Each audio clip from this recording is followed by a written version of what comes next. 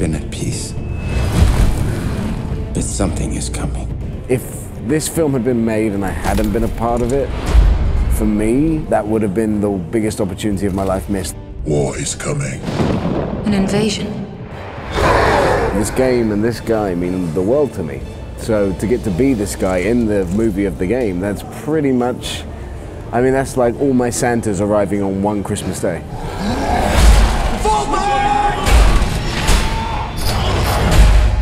For orcs, there is no other life but war.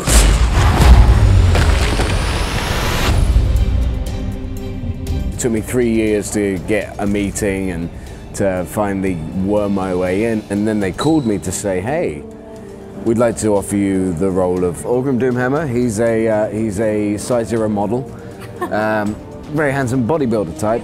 There was just this enormous and palpable sense of relief for me when I got the job offer that I would get to be a part of something that meant so much to me and to all the other people that play the game. If you played, you know, the first Warcrafts, you, you, you know what the story essentially is. But like any good magic trick, you know it's a trick, but you want to see it done well. If we do not unite, our world will perish. This doesn't need to happen. There is one who may help us. You know, the, the Warcraft universe, if it's that, we're telling this much and we're telling it in the right way. So what players like myself and fans and people that don't play the game can look forward to is being introduced to a world that either feels like home or that you'll want to become your home. Why are you here? To save our people. Our world is dying. There is nothing to go back to.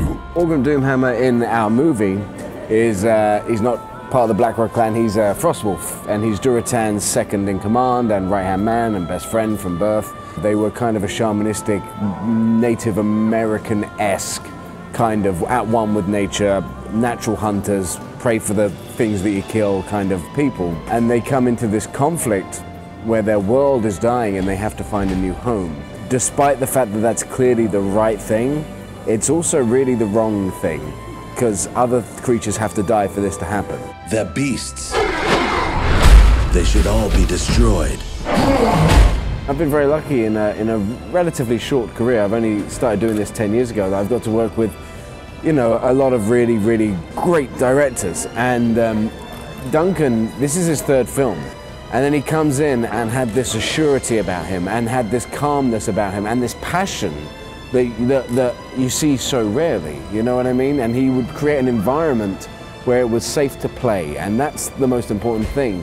So for a young guy, he had the experience of a much more experienced director, and I would quite happily work for him forever. We have no choice.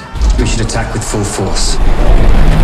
There was a lot of pressure, you know, especially with this duality of being the actor and being the fan, you know what I mean? There's this kind of you know, I have to be a professional and do my job, but what if it sucks? And then when I saw the film, any pressure that was left on me just went away because as the fan of the game, as the hardcore raider that I am, and as the, as the person that I am, it's the film I wanted to see. We fight together or we die together. Every day was a pretty magnificent moment for me, which I was just pinching myself, realizing that I had lived the dream that so many gamers actually go to sleep and dream, which is being in the game. if people can love this as much as we love this, we'll be able to expand into a whole universe of stories that will blow people's minds for a generation. Whatever you plan to do, do it now!